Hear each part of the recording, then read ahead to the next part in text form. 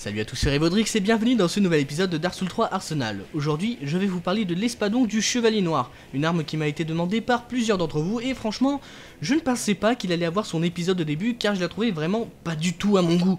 Mais après avoir joué longtemps avec, j'ai pu voir les avantages de cette arme qui ne sont pas des moindres.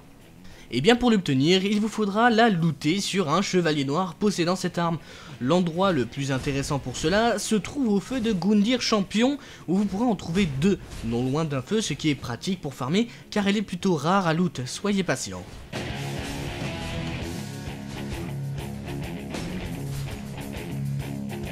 Pour porter cette arme, il vous faudra 30 en force et 18 en dextérité.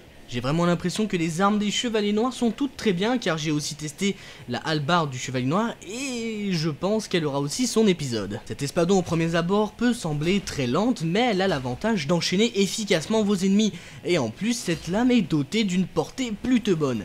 Si vous touchez une fois l'ennemi, il sera vite piégé par un terrible enchaînement de votre part. À consommer avec modération quand même, évitez de vider votre barre d'endurance, ce serait dommage.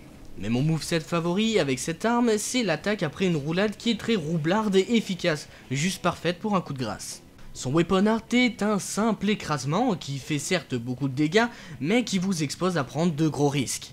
Parce que malgré que vous vous protégez avec la garde de l'épée, pour charger, bien vous pouvez quand même prendre des coups. C'est pour cela que je lance ce weapon art direct après une attaque, n'engagez jamais un combat avec ce weapon art. Amélioré à plus 4 avec mes stats de base, j'atteins les 538 de dégâts, ce qui n'est pas dégueu pour la facilité que cette arme a pour enchaîner les ennemis. Malheureusement, elle n'est pas buffable que ce soit avec les sorts ou des résines, c'est dommage. En PvE, il va falloir être très agressif avec vos adversaires, leur laisser le moins de répit possible car c'est ce que vous ferez de mieux avec. Comme je l'ai dit tout à l'heure, elle enchaîne très bien, profitez-en pour mettre 2-3 coups bien vénères, histoire de déjà montrer l'étendue de votre puissance. Ensuite je propose une petite esquive pour continuer à le frapper ou le finir en attaque roulée ou sauter. Comme pour toutes les armes lourdes, il va falloir être calculateur, ce qui veut dire qu'il va falloir commencer votre attaque avant que votre ennemi arrive vers vous, et cela pour toutes les attaques. Si vous suivez toutes ces règles, cette arme peut s'avérer horriblement puissante et colossale. Pour conclure, bien cette arme est très puissante mais réduit votre défense car vous expose souvent au danger. Mais si vous faites les bons choix, vous serez maître du combat.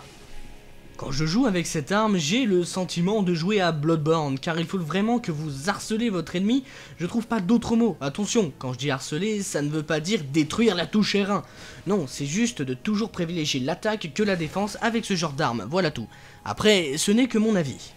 On arrive à la fin de cet épisode de Dark Souls 3 Arsenal, mais pas que à la fin de cet épisode, on arrive aussi bientôt à la fin de la série Dark Souls 3 Arsenal.